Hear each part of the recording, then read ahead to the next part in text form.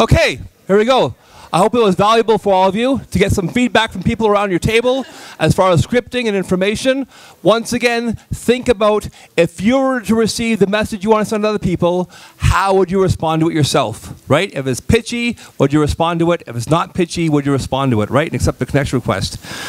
Very, very important. Think about a second. If no one accepts your connection request on LinkedIn, nothing happens afterwards. So it's really, really important that people accept your connection request on LinkedIn. Pardon me? No, no, but you can't. You can't. They're not your first connections ever. They won't see your. Only people who are your first connections will see your content on LinkedIn, unless you're paying for sponsored content or LinkedIn ads. All right, so it's really, really important that you uh, get build up your database of people as your first connections. So next thing is people who send connection requests to you. Should you accept all of them? Right? No, no, no. Right click on their name again, go to their profile, see who they are, and see if they're going to be valuable to you. Do they fall in the category of three or the rule of three? Yes. So we sell window coverings, everybody can buy window coverings. So even though they might not be a referral partner, there's still for you a potential that they might need window coverings. Yeah, but but if they're in China, are they going to accept your connection request? I think I would then look at where they live. Where they live? Are they in Calgary? Right? Are they a competitor? You want Are they a competitor of yours? Do they want to troll? They want to troll your LinkedIn profile and see what kind of stuff you're posting on a regular basis, right? So it's very, very important. I think you go to each person one at a time, right click on their name, open link new tab, and see who they are before you say yes. Yeah, and there's a slide. There's a slide right there. Well, the phone works best as part of the next stage. You know, so many people uh, I find on social media marketing nowadays are afraid to pick up the phone also. So, you know, my thing is, and I always try to get people on the phone with me, even though they're not going to be my client possibly ever, I want to say hi to them, right? Because you never know. I might get someone who will refer people to me. I might get somebody who wants to do something else with me later on, past past LinkedIn or whatever, right? So, you know, try to do that also. Um, and so, so LinkedIn, the LinkedIn rules and what they say on LinkedIn, if you Google this, they, LinkedIn says not to invite people you don't know. And how many people think that's a good idea?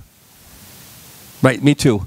I think people, you should definitely invite people you don't know or accept people, uh, in, in people's invitations people you don't know because that's how you build your database. It's like going to a networking meeting and not shaking anybody's hand at all ever because you don't know them beforehand. And I hate it when I go to these networking meetings or networking events and all the people who already know each other, like huddle in these little groups, right?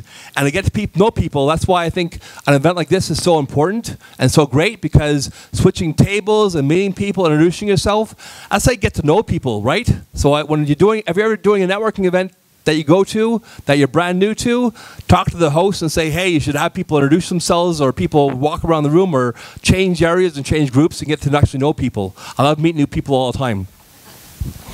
Um, and uh, you know, you can go onto your networking page, your network page on LinkedIn, and you can find people on that page, LinkedIn.com, my network, and scrolling down the page, you'll see, and that's it's a contradictory. Like LinkedIn is so weird. They say don't do this, but they- they'll show people you don't know on their page. It's like, well, what are you sending us? Sending this, you know, this weird message of don't do it, but here's people you can connect with. You don't know them already. Um, so we did the exercise already. Uh, so we're looking to find phrases of people on LinkedIn. So you know, um, and then looking for the people who are uh, you know in your target market. Also, think about this for a second.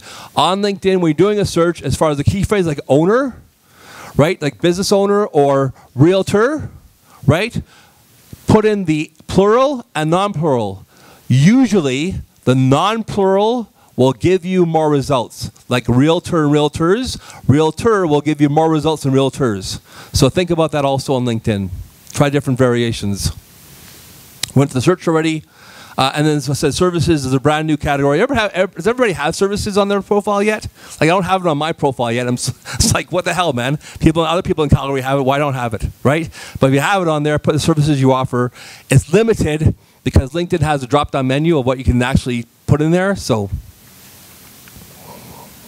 uh, we talked about first connections, second connections, third connections.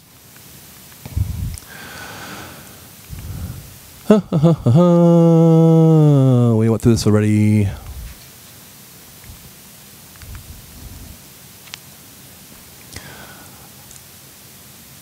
Also, it's very, very important you follow people. Um, I talked beforehand about people who have these large networks of people on LinkedIn and they never, ever message anybody on LinkedIn ever. So you have this great database. It's like having your own personal Rolodex on LinkedIn. Message people. Talk to people on LinkedIn. Don't be afraid to pick up the phone sometimes even and say, call them up on the phone. Just cold call them, but not in a way to pitch them, right? Pick up the phone and say, hey, uh, Jackie, you're on my LinkedIn. I've seen you. I've seen you for like the last five years. We've never spoken beforehand. I just wanted to call you on the phone and introduce myself. How are you doing today? Thank you very much. Appreciate that. She's great. Look at that.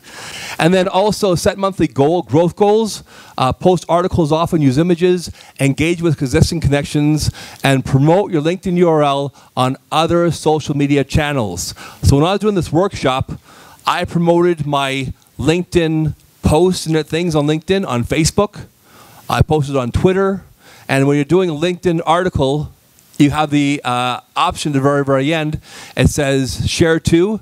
And I think uh, Twitter and uh, not Facebook comes up, but Twitter comes up, LinkedIn comes up. Oh no, Facebook comes up, Twitter comes up, and LinkedIn comes up as far as we can share things too. So, and then for uh, you know for uh, sharing for Facebook, once you have the Facebook share box open, you can share it on your personal profile, share it on a group, share it on a, your, your company page. So, you know you want to get that content out there. It's very very important. So let me ask you: Are you using generate LinkedIn to generate leads right now? Yes or no? Anybody on there actually doing aggressive LinkedIn lead generation or marketing? So only a few of you right? So once again, I said beforehand, nine. If we look at people in here, I bet you any money it's like maybe one or two percent. So, ninety-nine point nine percent of businesses and companies and people on LinkedIn are doing nothing, and that's fantastic news for us over here in the room today because we do that stuff on LinkedIn as far as marketing and lead generation, or to be far ahead of everybody else. It's really great. Um, so you want to have a defined strategy on paper to determine everything else. Uh, we'll also talk about political politics and religion dating on LinkedIn. Should we worry about discrimination? Should I have volunteer work, changing careers, thanking people for endorsement recommendations, how to request endorsement recommendation, and can simply copy and paste my resume. So uh, go to page 40 in your manual. I want to do one more exercise before we take a break. And on page 40, we're going to think about this. this. This won't be a group share at all, but I want you to think about this. I want you to think about what is my strategy on LinkedIn? Why am I on there? What do I want to accomplish on LinkedIn in the next 12 months? I want to simply grow my network by a thousand. I want to get five or 10 new customers, and think about that, you know, and think about and think about backwards. I want to get 10 new customers on LinkedIn in the next 30 days.